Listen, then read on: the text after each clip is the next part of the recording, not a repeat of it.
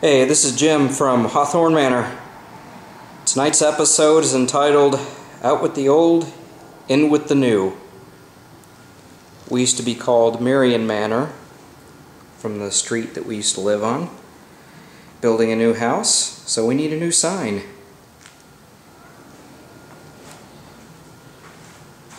Check us out. It's built like most every other thing that I build.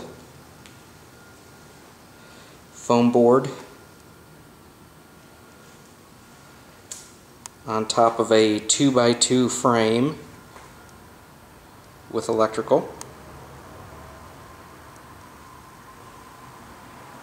And these are Halloween lights. Oh yeah, insert photo here. This is last year's.